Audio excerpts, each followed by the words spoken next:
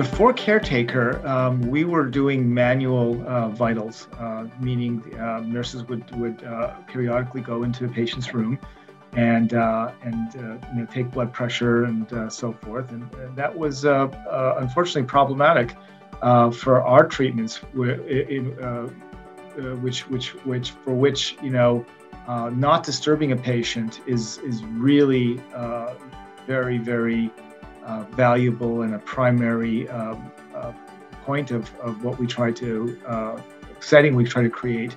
So um, it, it, was highly suboptimal.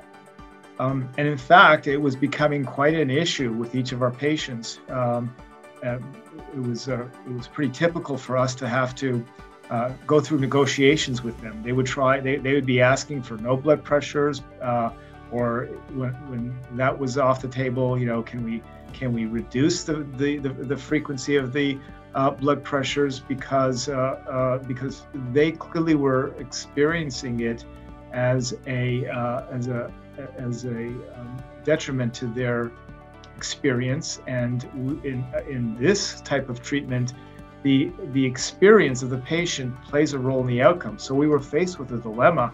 On the one hand we wanted to keep uh, people, uh, patients safe and uh, and be able to monitor their their uh, vitals and blood pressure. On the other hand, we also knew that that came at a cost uh, in terms of the the patient experience and therefore the ultimate therapeutic effects.